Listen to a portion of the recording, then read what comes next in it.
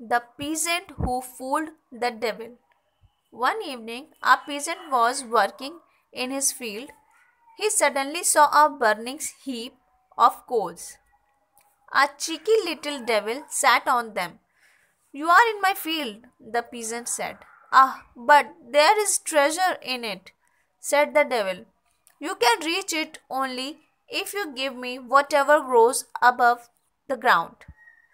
All right, said the cunning peasant, and he grew turnips in his field.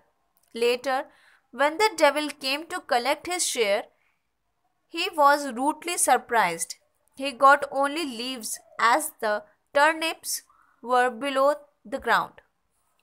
Next harvest, I want what's below the ground, growled the devil. The peasant readily agreed. In the next harvest season, he grew wheat.